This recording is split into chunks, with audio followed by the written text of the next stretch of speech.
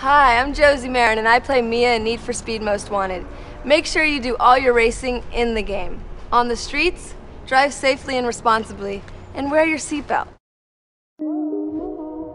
I tried to stop, but I can't stop. I just can't stop thinking about her. I don't know. All I remember was she wear the Skechers. The light up ones.